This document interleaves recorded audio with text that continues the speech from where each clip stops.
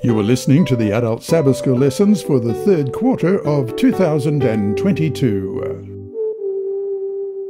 This is lesson number three of the Adult Sabbath School Bible Study Guide in the Crucible with Christ. This lesson is titled The Birdcage and is ready for teaching on Sabbath, July 16. The author is Pastor Gavin Anthony, who was conference president in Iceland when he wrote this series of lessons. Today, your lesson is read by Dr. Percy Harrold. Sabbath afternoon, June 9. Before we start, let's pray. Our Heavenly Father, we thank you for your word once again this week. And as we read this lesson titled The Birdcage, we pray that your word will once again come alive for us, that we may understand your will for us, and that we may see your grace. As we open your word, we pray that in each day of this week that we may remember that you are our creator, our sustainer, and the one who provides our salvation.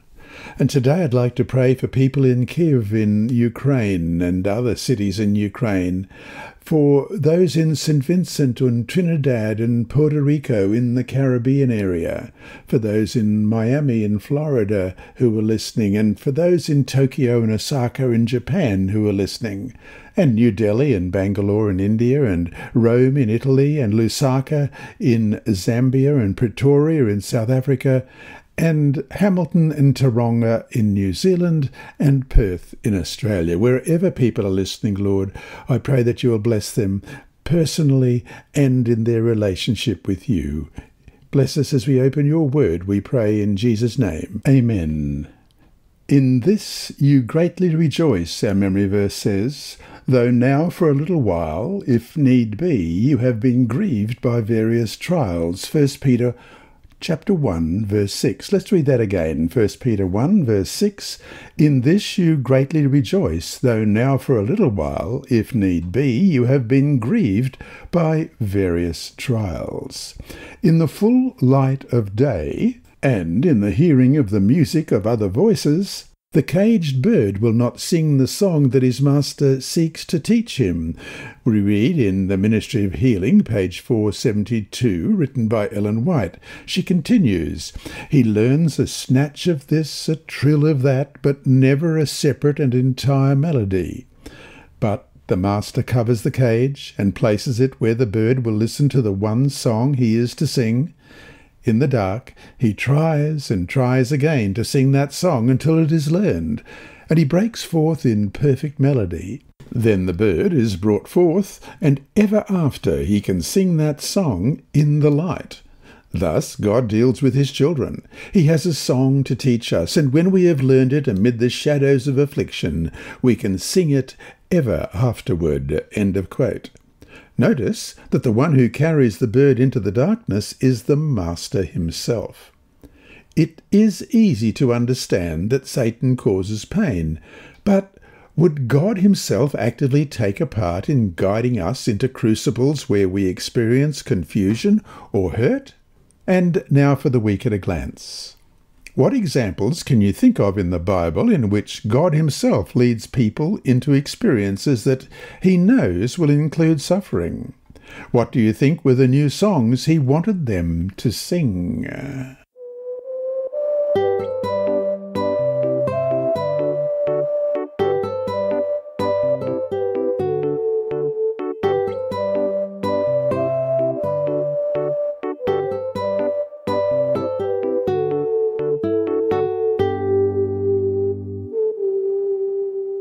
Sunday, July 10, to the promised land via a dead end. Exodus chapter 14, verse 10 reads, And when Pharaoh drew near, the children of Israel lifted their eyes, and behold, the Egyptians marched after them. So they were very afraid, and the children of Israel cried out to the Lord. Have you ever been set up, led into a trap, or to a dead end? Sometimes it can be nice, like walking unexpectedly into a room of waiting friends who all shout, Surprise! Happy birthday! At the other times it can be quite a shock, even a very unpleasant one. It may have been bullies when you were at school or a work colleague who unexpectedly tried to make you look bad. From the day the Israelites left Egypt to the day they reached the promised land, the Lord went ahead of them in a pillar of cloud to guide them on their way, and by night in a pillar of fire to give them light, so that they could travel by day or night, as we read in Exodus 13:21. Every part of their journey was led by God Himself. But look at where He had led them first, to a place where the sea was before them. Mountains were on either side, and Pharaoh's army was within eyesight, right behind. Read Exodus chapter 14. Why did God bring the Israelites to a place where he knew they would be terrified. Exodus 14, beginning at verse 1. Now the Lord spoke to Moses, saying, Speak to the children of Israel that they turn and camp before Pi Hahiroth, between Migdol and the sea, opposite Baal Zephon. You shall camp before it by the sea. For Pharaoh will say of the children of Israel, They are bewildered by the land, the wilderness has closed them in. Then I will harden Pharaoh's heart so that he will pursue them, and I will gain honour over Pharaoh and over all his army, that the Egyptians may know that I am the Lord. And they did so. Now it was told the king of Egypt that the people had fled, and the heart of Pharaoh and his servants was turned against the people, and they said, Why have we done this, that we have let Israel go from serving us? So he made ready his chariot, and took his people with him. Also he took six hundred choice chariots, and all the chariots of Egypt with captains, over every one of them. And the Lord hardened the heart of Pharaoh king of Egypt, and he pursued the children of Israel, and the children of Israel went out with boldness. So the Egyptians pursued them, all the horses and chariots of Pharaoh, his horsemen and his army, and overtook them, camping by the sea beside Pi Hahiroth, before Baal Zephon. And when Pharaoh drew near, the children of Israel lifted their eyes, and behold, the Egyptians marched after them. So they were very afraid. And the children of Israel cried out to the Lord. Then they said to Moses, Because there were no graves in Egypt, have you taken us away to die in the wilderness? Why have you so dealt with us to bring us out of Egypt? Is this not the word that we told you in Egypt, saying, Let us alone, that we may serve the Egyptians? For it would have been better for us to serve the Egyptians than that we should die in the wilderness. And Moses said to the people, do not be afraid. Stand still and see the salvation of the Lord, which he will accomplish for you today. For the Egyptians, whom you see today, you shall see again no more forever. The Lord will fight for you, and you shall hold your peace. And the Lord said to Moses, Why do you cry to me? Tell the children of Israel to go forward.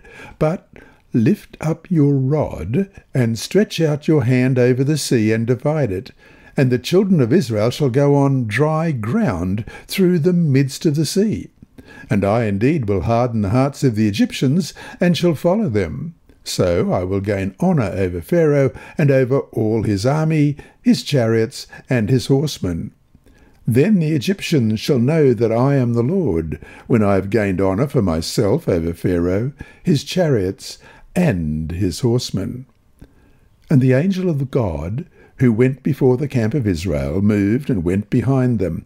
And the pillar of cloud went from before them and stood behind them. So it came between the camp of the Egyptians and the camp of Israel.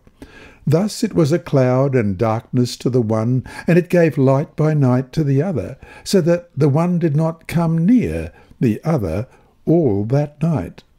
Then Moses stretched out his hand over the sea, and the Lord caused the sea to go back by a strong east wind all that night, and made the sea into dry land, and the waters were divided.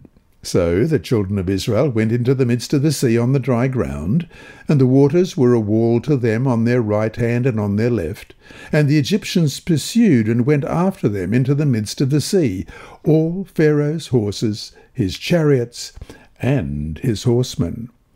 Now it came to pass in the morning watch that the Lord looked down upon the army of the Egyptians through the pillar of fire and cloud, and he troubled the army of the Egyptians. And he took off their chariot wheels, so that they drove them with difficulty. And the Egyptians said, Let us flee from the face of Israel, for the Lord fights for them against the Egyptians.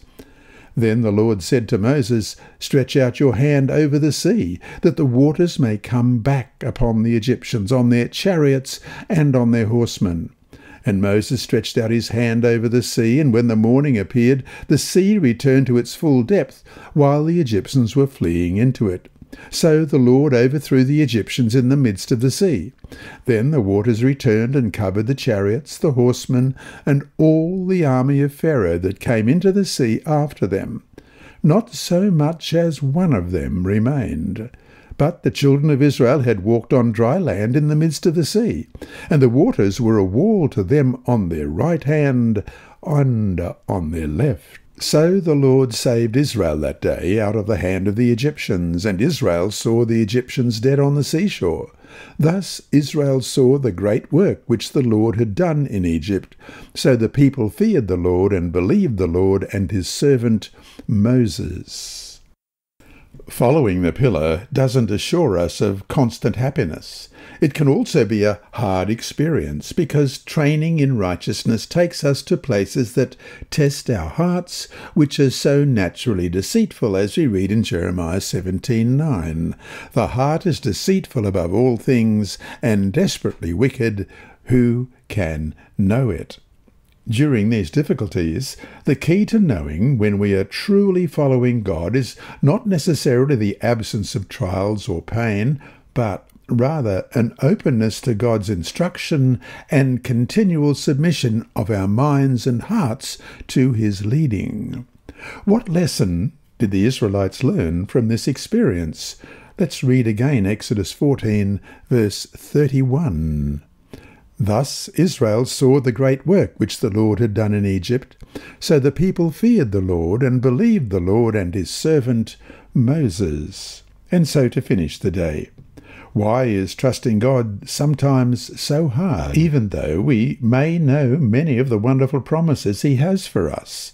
Recount a difficult situation you believe the Lord led you into in order to teach you to believe in and to fear Him.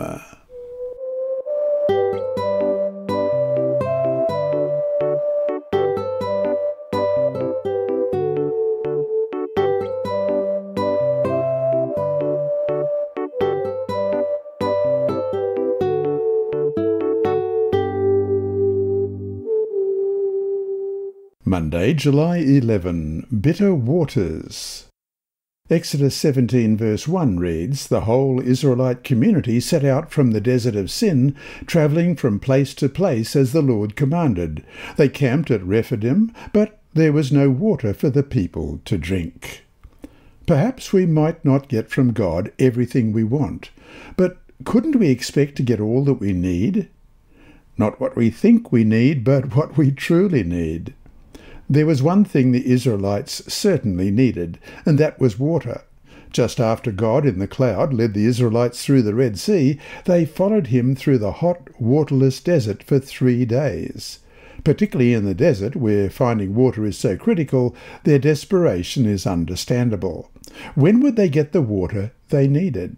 So, where does God lead them? The pillar goes to Marah, where, at last, there is water.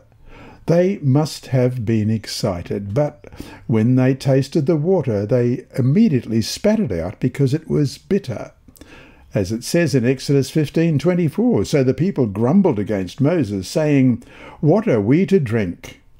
Then, a few days later, God does it again. This time, however, the pillar actually stops where there is no water at all, Exodus 17, verse 1 Then all the congregation of the children of Israel set out on their journey from the wilderness of Sin, according to the commandment of the Lord, and camped in Rephidim, but there was no water for the people to drink. Read Exodus 15, verses 22 to 27, and Exodus 17, 1 to 7. What did God reveal to Israel about himself at Marah and at Rephidim? What lessons should they have learned? Exodus chapter 15, beginning at verse 22. So Moses brought Israel from the Red Sea. Then they went out into the wilderness of Shur. And they went three days in the wilderness and found no water. Now, when they came to Marah, they could not drink the waters of Marah, for they were bitter.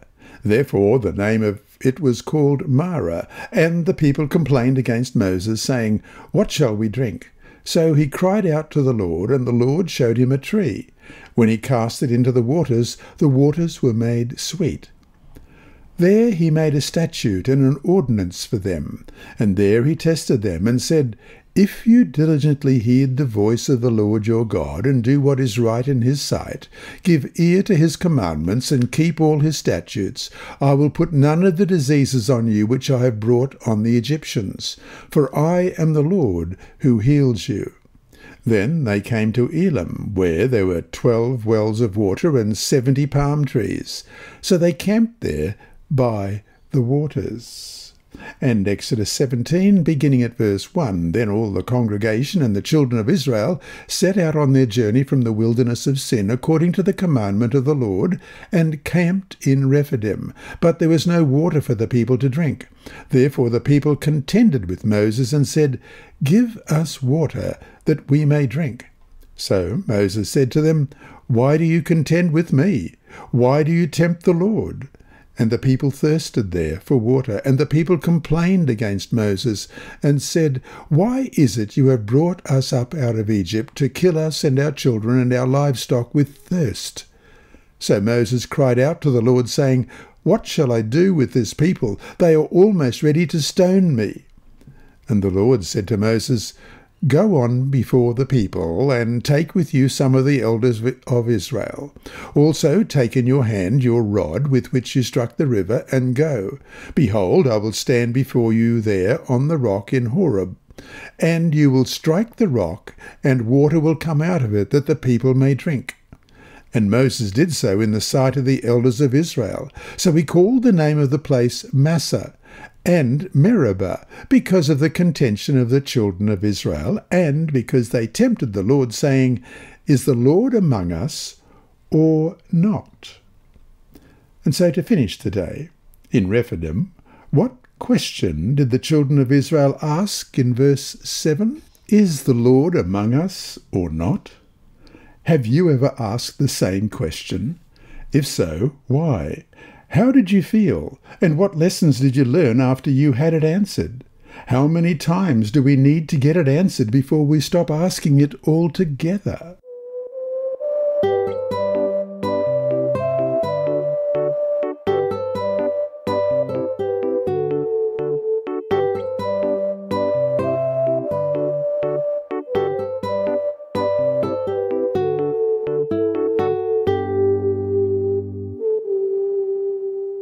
Tuesday, July 12, the great controversy in the desert. Luke 4, verses 1 and 2 reads, Then Jesus, being filled with the Holy Spirit, returned from the Jordan, and was led by the Spirit into the wilderness, being tempted for forty days by the devil. Read Luke chapter 4, verses 1 to 13. What lessons can you learn from this account about how to overcome temptation and not give in to sin. Luke 4, beginning at verse 1. Then Jesus, being filled with the Holy Spirit, returned from the Jordan, and was led by the Spirit into the wilderness, being tempted for forty days by the devil. And in those days he ate nothing, and afterward, when they had ended, he was hungry. And the devil said to him, If you are the Son of God, command this stone to become bread. But Jesus answered him, saying, it is written, Man shall not live by bread alone, but by every word of God. Then the devil, taking him up on a high mountain, showed him all the kingdoms of the world in a moment of time. And the devil said to him, All this authority I will give you, and this glory, for this has been delivered to me, and I give it to whomever I wish. Therefore, if you will worship me, all will be yours. And Jesus answered and said to him, Get behind me, Satan, for it is written, You shall worship the Lord your God, and him only you shall serve. Then he brought him to Jerusalem, and set him on the pinnacle of the temple, and said to him, If you are the Son of God, throw yourself down from here, for it is written, He shall give his angels charge over you, to keep you, and in their hands they will bear you up, lest you dash your foot against a stone. And Jesus answered and said to him, It has been said, You shall not tempt the Lord your God. Now, when the devil had ended every temptation, he departed from him until an opportune time. Temptations can be so difficult because they appeal to things we really desire, and they always seem to come at our weakest moments. Luke 4 is the beginning of the story of Jesus' temptation by Satan, and it brings some difficult issues to our attention. At first glance, it appears that the Holy Spirit is leading Jesus into temptation. However, God never tempts us, as we read in James 1 and verse 13. Let no one say when he is tempted, I am tempted by God, for God cannot be tempted by evil, nor does he himself tempt anyone. Rather, as we have been seeing, God does lead us to crucibles of testing. What is striking in Luke chapter 4 is that the Holy Spirit can lead us to times of testing that involve being exposed to Satan's fierce temptations. At such times, when we feel these temptations so strongly, we may misunderstand and think we have not been following God correctly. But this is not necessarily true. Ellen White writes in The Desire of Ages, page 126 and 129 Often, when placed in a trying situation, we doubt that the Spirit of God has been leading us. But it was the Spirit's leading that brought Jesus into the wilderness to be tempted by Satan.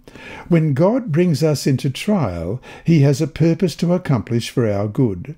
Jesus did not presume on God's promises by going unbidden into temptation, neither did he give up to despondency when temptation came upon him. Nor should we. End of quote. Sometimes, when in the crucible, we get burned rather than purified. It is therefore very comforting to know that when we crumble under temptation, we can hope again because Jesus stood firm. The good news is that because Jesus is our sin bearer, because he paid the penalty for our failure to endure that temptation, whatever it was, because he went through a crucible worse than any of us will ever face, we are not cast off or forsaken by God. There is hope, even for the chief of sinners, as we read in 1 Timothy chapter 1 and verse 15. This is a faithful saying and worthy of all acceptance that Christ Jesus came into the world to save sinners, of whom I am chief. And so to finish today, what temptations are you facing now? Spend some time in prayer asking the Lord to teach you how to apply the lessons from Jesus' example to your own life. Remember, you don't have to succumb to temptation ever. Remember, too, that if you do succumb, you have a Saviour.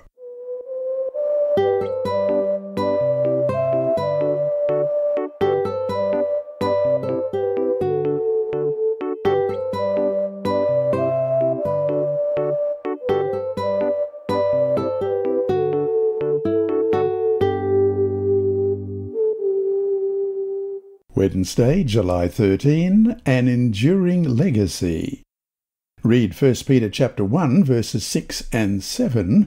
What is Peter saying? In this you greatly rejoice, though now for a little while, if need be, you have been grieved by various trials, that the genuineness of your faith, being much more precious than gold that perishes, though it is tested by fire, may be found to praise, honour, and glory at the revelation of Jesus Christ.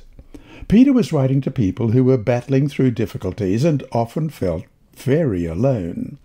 He was writing to God's elect, as it says in verse 1, exiles scattered throughout the provinces of Pontus, Galatia, Cappadocia, Asia, and Bithynia. This is the area we know today as Western Turkey. A few verses later, Peter says that he knows that they are experiencing griefs in all kinds of trials in verse 6. What does Peter mean by saying that they are exiles and scattered? How might that add to their trials? Being a Christian during those times was a new thing. Believers were small in number and in various places where they were a decided minority who were often misunderstood at best, persecuted at worst. Peter assures them, however, that these trials are not random or chaotic. Let's read that verse again. In this you greatly rejoice, though now for a little while, if need be, you have been grieved by various trials, that the genuineness of your faith, being much more precious than gold that perishes, though it is tested by fire, may be found to praise, honour, and glory at the revelation of Jesus Christ. Genuine faith is the goal of those who persevere through all kinds of trials.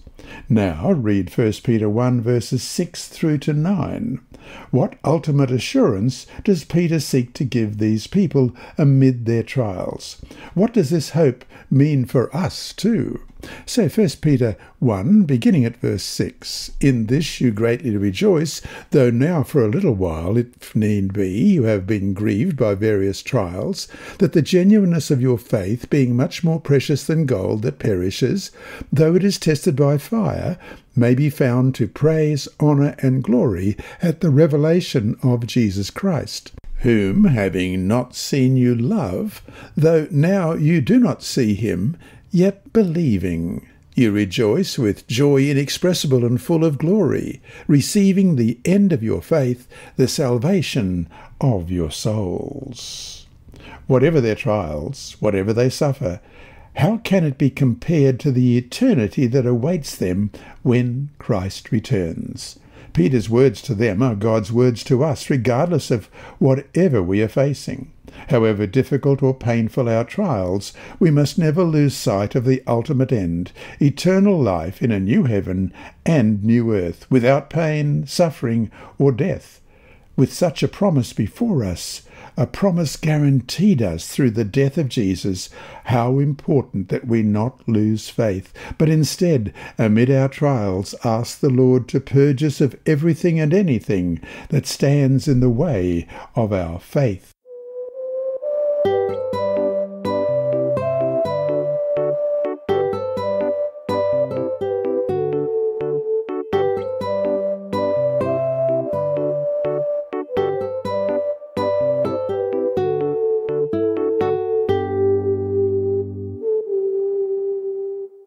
Thursday, July 14. Trial by Fire.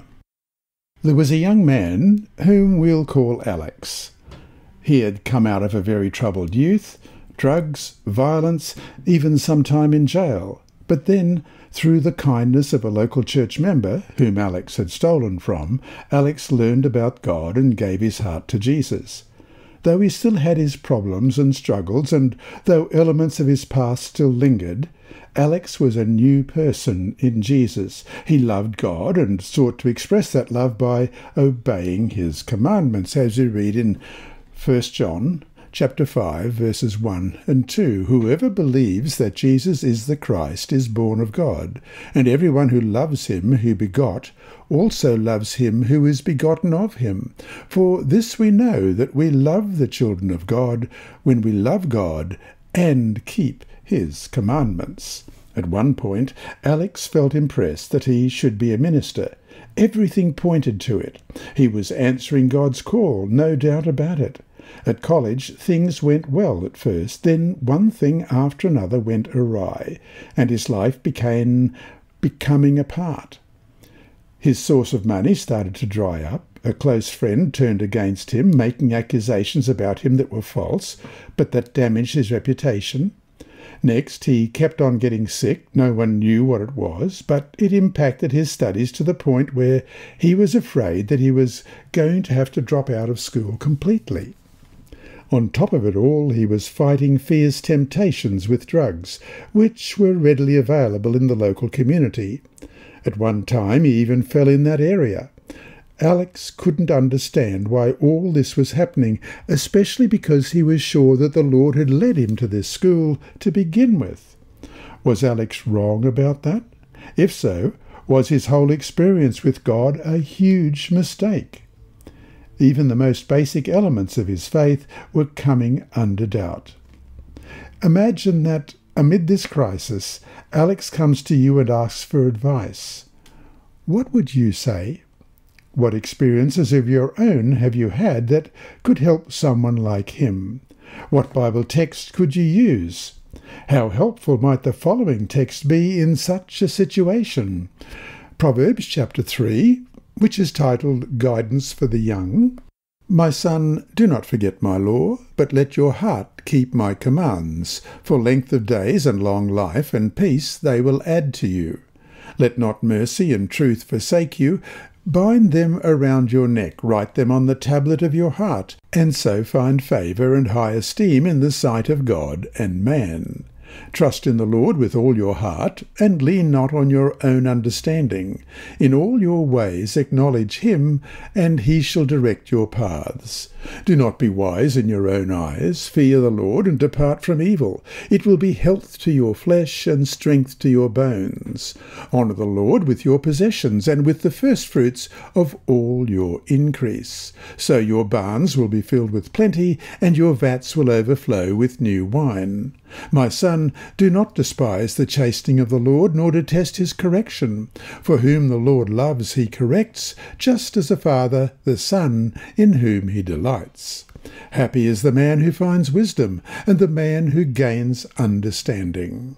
For her proceeds are better than the profits of silver, and her gain than fine gold. She is more precious than rubies, and all the things you may desire cannot compare with her. Length of days is in her right hand, in her left hand riches and honour. Her ways are ways of pleasantness, and all her paths are peace. She is a tree of life to those who take hold of her, and happy are all who retain her. The Lord by wisdom founded the earth. By understanding he established the heavens. By his knowledge the depths were broken up, and clouds dropped down the dew. My son, let them not depart from your eyes. Keep sound wisdom and discretion, for they will be life to your soul and grace to your neck. Then you will walk safely in your way, and your foot will not stumble. When you lie down, you will not be afraid. Yes, you will lie down, and your sleep will be sweet. Do not be afraid of sudden terror, nor of trouble from the wicked when it comes, for the Lord will be your confidence, and he will keep your foot from being caught. Do not withhold good from those to whom it is due, when it is in the power of your hand to do so. Do not say to your neighbour, Go and come back, and tomorrow I will give it, when you have it with you. Do not devise evil against your neighbour, for he dwells by you for safety's sake. Do not strive with a man without cause, if he has done you no harm. Do not envy the oppressor, and choose none of his ways. For the perverse person is an abomination to the Lord, but his secret counsel is with the upright. The curse of the Lord is on the house of the wicked, but he blesses the home of the just. Surely he scorns the scornful, but gives grace to the humble. The wise shall inherit glory, but shame shall be the legacy of fools. And Jeremiah 29, verse 13, And you will seek me and find me when you search for me with all your heart. And Romans 8:28, and we know that all things work together for good to those who love God, to those who are the called according to his purpose. And 2 Corinthians 12 verse 9, and he said to me, My grace is sufficient for you, for my strength is made perfect in weakness. Therefore, most gladly I will rather boast in my infirmities, that the power of Christ may rest upon me. And Hebrews chapter 13 and verse Verse 5 Let your conduct be without covetousness, be content with such things as you have, for he himself has said, I will never leave you nor forsake you. And so to finish today, almost all who follow the Lord have had crises during which they've been tempted to doubt the Lord's leading. The important thing in such situations is to cling to the promises, recount God's leading in the past, and pray for faith and endurance. The Lord will never give up on us. The question for us is, how do we not succumb to the temptation to give up on Him?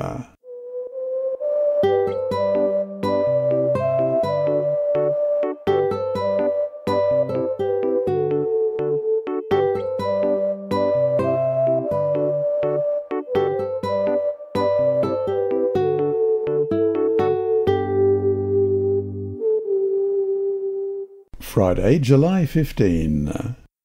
From the Advent Review and Sabbath Herald of April 7, 1903, Ellen G. White writes in an article titled Rephidim, But of old the Lord led his people to Rephidim, and he may choose to lead us there also to test our loyalty.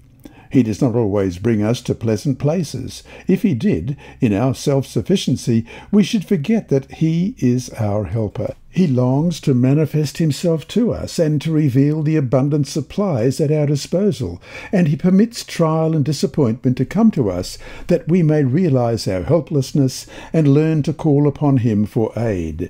He can cause cooling streams to flow from the flinty rock, we shall never know until we are face to face with God, when we shall see as we are seen and know as we are known, how many burdens He has borne for us, and how many burdens He would have been glad to bear if, with childlike faith, we had brought them to Him.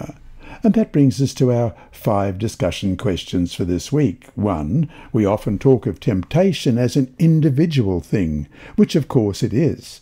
At the same time, are there any corporate temptations, things that we as a church or a local church family might have to guard against as a group? If so, what? 2. Ask those who are willing to talk about any of the unpleasant places that they have been brought to. Why were these unpleasant? If they had to revisit these experiences today, would they view them any differently? 3. We all understand the principle behind God allowing us to be purified and refined by trials. How, though, do we understand the situation in which trials appear to have no value? For instance, someone is killed instantly in a car wreck? As a class, seek to work through possible answers. 4. As a class, take time together to pray for each other, that each might be strengthened to endure trials and stay faithful. And 5. Does your class know of anyone who, having faced trials, lost the way? If so, as a class, what could you do in a very tangible way to help lead that person back?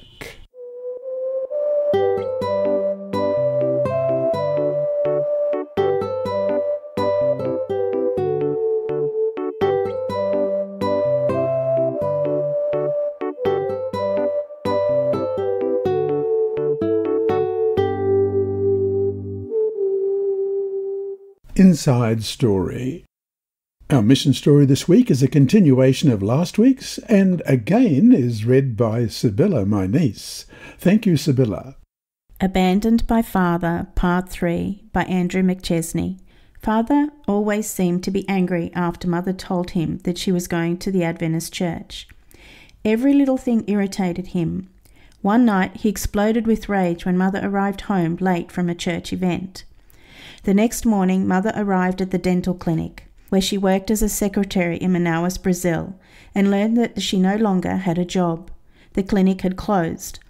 All the way home, she wondered how to tell father, but he wasn't at home and he didn't answer his phone calls. Then Mother noticed that his clothes were missing from the closet. He had left home. Mother didn't say a word to their son Junior. The boy, busy at school and the Gamers Club, only noticed that father was gone three days later when he received a WhatsApp video message on his cell phone. Father said Adventism and his faith Candomblé could not coexist in the same house. Mother also received a WhatsApp message. Father said he had moved to the Candomblé temple where he worshipped evil spirits as a high priest. I'm never going to give up my religion, he said. You have to accept it. Mother had never heard about the great controversy between Christ and Satan. But she was worried and she met with Ricardo Coleo, pastor of Alpha Seventh day Adventist Church Community. Weeping, she confided that father worked as a candomblé priest and had deserted the family. Pastor Ricardo comforted mother and opening his Bible said kindly, "Let me share some advice with you." In 1 Corinthians chapter 7 verse 3, he read, "Let the husband render to his wife the affection due to her, and likewise also the wife to her husband." In Proverbs 14:1 he read, "The wise woman builds her house, but the foolish pulls it down with her hands." Looking at mother, he said, be a good wife to your husband, Eduardo, and pray for him. The Bible verses encouraged Mother, and she decided to pray even more. Weeks passed, and Mother ran out of money. She found strength in the Bible and prayed the promise of Joshua 1 9, which says, Be strong and of good courage, for the Lord your God is with you wherever you go. When grandmother, father's mother, learned that the family was low on food, she called father and he began to deliver groceries. One day, grandmother told mother that spirits had summoned her and Junior to the temple. When the pair arrived, father was possessed by an evil spirit who spoke through him in a low, distorted voice. The spirit said father could go back home, but threatened to kill him if mother or Junior tried to teach him about their religion or invited him to church. Father returned home that day. He had been gone for two months. Mother prayed even more. This lesson was read by Dr. Percy Harrold for Christian Services for the Blind. Sponsored by the Sabbath School Department and distributed through Hope Channel Australia, this podcast is also redistributed by Hope Channel Germany, Christian Record Services for the Blind. It is also available on SoundCloud and through multiple podcast distributors, including Apple iTunes. And you can listen and watch at the same time on YouTube. Remember, God is always faithful.